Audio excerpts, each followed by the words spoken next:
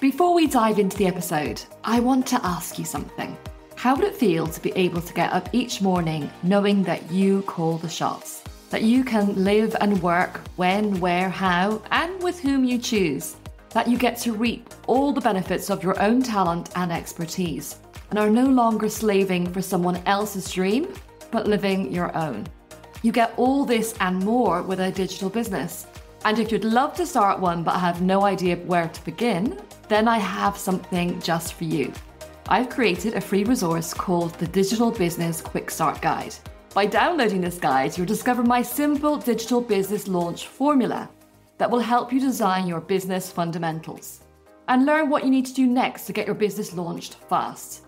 So head on over to nicholaohara.com forward slash quickstart hyphen guide, or you'll find the link in the show notes to download your guide now and get started on your way to finding the freedom and success only a digital business can give you. Do it now. Don't waste another second of your time that you could be planning your digital business launch. Your future self will thank you. Now go and enjoy the episode.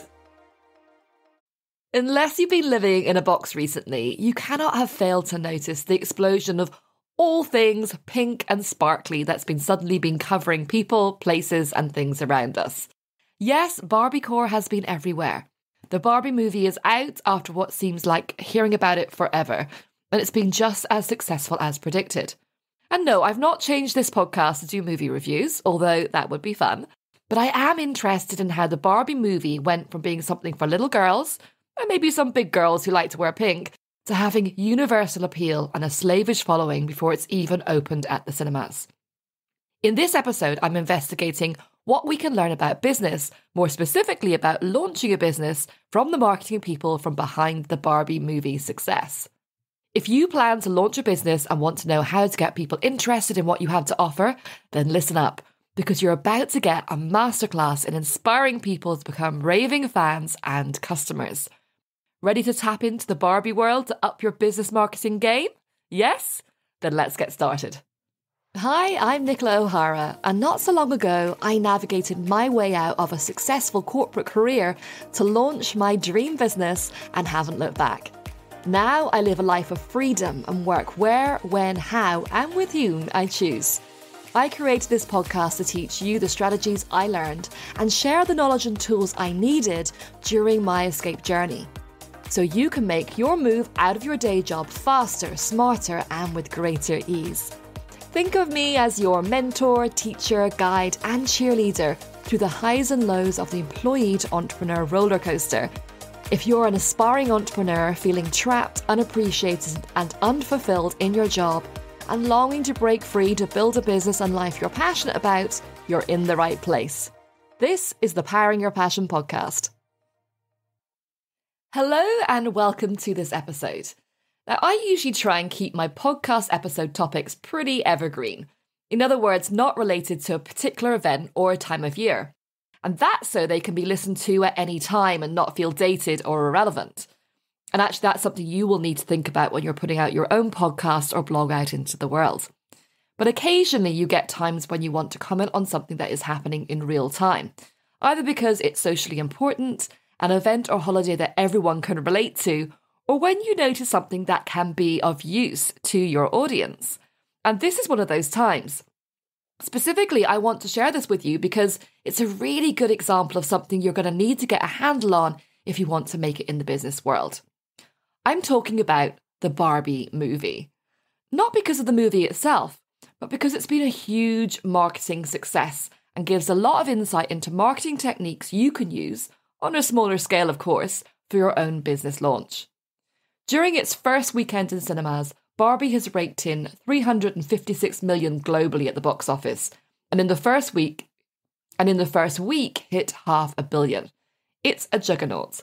Along with Oppenheimer and the Mission Impossible movie, its opening weekend became the biggest weekend of cinema in 11 years. The Warner Brothers president of global marketing, Josh Goldstein, said in an interview with Variety, I've been doing this for 35 years. This is one of the most unique experiences I've ever had. Celebrities have been decking themselves out head to foot in pink, and cinema goers have been dressing up as their favourite Barbie and have queued around the block to get a seat. Barbie merchandise is everywhere. Big brands have been falling over themselves to collaborate in some way. My personal favourite was the Airbnb Malibu Dream House, where they painted this big house pink and put all sorts of Barbie stuff around the place and people can go and stay there. But why has this movie launch been so successful? Yes, Barbie is a well known brand, but it's had its critics over the years. There's been a bit of a love hate relationship. Who knew that it was going to have so much universal appeal? That the movie would be so popular even before it even opened. You would be forgiven to think it was just for little girls, but people of all ages and genders and opinions about Barbie have been flocking to it, even if it's just to see what all the fuss is about. When I first heard about the movie a few years ago, I thought there would be no way I'd actually go and see it. It would just not be my thing. Then I found myself a week or so before it opened chatting with a friend about how it's not going to be what you think, and actually it could be quite fun to go and see. How had my mind gone from no way to this could be fun? I heard myself saying the words and then had to think, where had I got that from? It may seem like magic, but actually, my mind had been changed by a long, intricate, clever, and highly invested in marketing strategy. The thing about marketing is that it's based on psychology. A great marketing campaign will bring you down a path to buying something without you even being aware of it. It slowly builds liking and trust in whatever you want the person to buy. In this case, the campaign encouraged me to think about the Barbie movie and what to expect. It made it seem cool and fresh, and when the trailer started to drop, you could see that there was a lot of adult humour, and you began to think that maybe there was something different about it. Full disclosure, I haven't actually seen the movie, but I would definitely have gone to see it had I been in London. In rural France, it's pretty hard to get an original version, and my French is not good enough to understand when it's dubbed. So I'll just have to wait until it's released by one of the streaming services to see if it lives up to my expectations. But as a business owner, I've been fascinated by the buzz around it, how it's tapped into so many people's imaginations and caused so much excitement. As I'm always learning, I took a deeper look into the marketing strategy that was used to see if there was anything I, and of course you, can take away from it. And once you strip away the sparkly pink glamour, they actually use some pretty standard marketing techniques, just on a huge scale and with a massive budget behind it. And that's the and that's the first lesson for us. You don't need to reinvent the wheel. The tried and trusted marketing methods do work, alongside the more modern social media strategies, of course. The next lesson is that you do need to invest in marketing. It's estimated that the marketing budget for Barbie was 150 million, which is just slightly more than the 145 million production budget. Although there have been endless gifs and memes on social media about the marketing team had a huge budget, this is actually a pretty standard for a blockbuster. It just shows how vital marketing is, and not just for blockbuster movies. It's equally important for startups and entrepreneurs like you and me. Just creating a great product isn't enough anymore. You've got to shout about it from the rooftops and make sure it gets the spotlight it deserves. Remember, it doesn't matter how revolutionary your product is if no one knows about it. And the investment can be in the form of money or time or both. You either decide to pay someone to help you with your business marketing, or you do everything yourself paying with your time. Or you do a bit of both, doing it yourself, but also investing in paid advertising on Facebook, Instagram, or Google. Whatever way you choose, it's not something you can ignore. Getting your marketing right is not an expense, but an investment that can lead to significant returns. Another lesson is about brand and branding. So, your brand is what people think about you or your business when you're not in the room. And branding is the physical manifestation of that brand. So things like colors, the logo, fonts, and imagery you, you use. As I said before, Barbie has a huge brand and about 50 years of imprinting it into our psyche. Love it or hate it, you know about it. So the movie producers had a lot to work with. The logo and imagery are really distinctive, and when you think of pink, you automatically think of Barbie. Now, of course, when you start out, you're not going to have that kind of brand or branding, but you do need to think about what you want people to think about your company and you if you're going to be at the forefront then everything you say and do needs to be aligned to whatever that is. Also, you don't need to have a logo or super complicated branding at the start, but make sure that whatever you do have is the same wherever you post about your business. So if you use a certain font on your website, use the same on your social media. If your main brand colour is blue, then use that everywhere. Don't switch to purple because you feel like it that day. You want whatever you've chosen to become linked to you, just like pink is linked to Barbie. Continuity is everything when you're dealing with your brand and branding. Now that we have the basics covered, let's look into the specific marketing tactics that the team behind the Barbie movie used. First, we're going to talk about the runway. In marketing terms, the runway is the time from when you start talking about the thing you want to sell to the time you actually put it on sale. There are certain phases of that runway to bring you from not knowing about it to desperate to get your hands on it. In general, the longer the runway, the better, as you need time to influence people's decisions. The Barbie movie had a super long runway. They started talking about it at CinemaCon 2022, which was in April of that year, so a full 15 months before the movie was released. They just had an image of Margot Robbie as Barbie in her famous pink car. That was really a test to see the reaction, and it didn't disappoint. That strategy is the initial teaser that any of us could use in our business or product launches. It's giving your potential clients a glimpse of what is coming, but giving them nothing more. What followed is what's called a breadcrumb strategy. This is where you leave a trail of enticing crumbs of information that lure people towards your product. Remember Hansel and Gretel is a bit like that, but hopefully with a more favourable outcome. So, how did the Barbie movie do this? They didn't spill all the beans at once. Instead, they released snippets of information, sneak peeks, behind the scenes looks, and teaser trailers over time. Each little crumb was designed to whet the audience's appetite and keep them coming back for more. About a month or so after CinemaCon, they were filming Barbie and Ken dressed in head to toe neon lycra and on rollerblades on Venice Beach. Images of them were leaked, but it would have been pretty difficult not to notice them as it's hardly a private area. The first teaser trailer was put out in December 2022. I'm going to talk about more about that later. The main trailer was dropped in April 2023, and Ryan Gosling and Margot, Margot Robbie were interviewed in full pink costumes at CinemaCon. From there, the intensity increased monthly, until the weeks before the opening, Barbie was everywhere. Margot and Ryan showed up everywhere as Barbie and Ken, with Margot wearing different Barbie costumes from all the decades Barbie has been around. By the time of the opening, expectation and excitement was at fever pitch, and people were queuing to go and see it. The long runway, along with the techniques I'm going to talk about, gave people time time to catch up, time to get interested, time to change their minds, and time to really buy into the concept. So, if you're planning to launch your business or your first product, think about how you could stretch out your marketing efforts. It might feel like you're playing the long game, but trust me, it'll be worth it. Give your audience enough time to sit up, take notice, and get excited.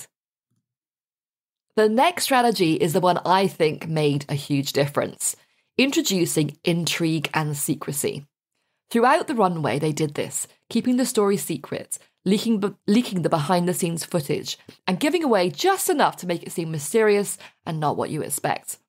A big part of this was to run the first teaser trailer in December 2022 before the most anticipated film of the year, which was Avatar The Shape of Water. Not really a traditional Barbie fan type of movie, but it got it in front of people who may not have seen themselves as their target audience, and it made it intriguing enough to whet their appetites and start to wonder if it could be worth seeing. It had music from 2001 A Space Odyssey in homage to the Stanley Kubrick film. And it made the bold statement that this movie isn't going to be exactly what you think it is. The trailer was totally not what you would expect from a Barbie movie and also did not give too much away, keeping the intrigue going. On top of that, they kept people on social media waiting for the trailer online, which only heightened the excitement and the expectations. And a later trailer said, if you love Barbie, this movie is for you. If you hate Barbie, this movie is for you.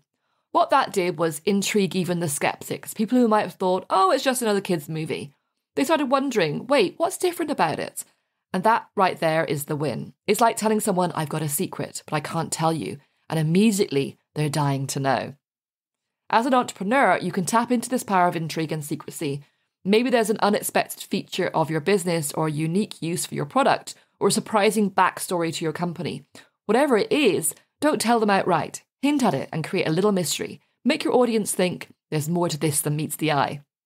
Remember, curiosity is a really powerful tool. If you can get people wondering about your business or product, they're more likely to check it out. And who knows, they might find it's exactly what they didn't know they needed. Another huge standout strategy for this movie was collaborations and partnerships both for merchandise and other experiences like the Airbnb Dream House and the Boston boat trip. According to CNN, brand strategist Moshe Isaacian started keeping track of the official partnership on Twitter. He posted about 50 partnerships with everything from toothbrushes to dog clothes. But CNN says that's just the half of it. Mattel, the makers of the Barbie doll, have made over 100 brand deals for the movie.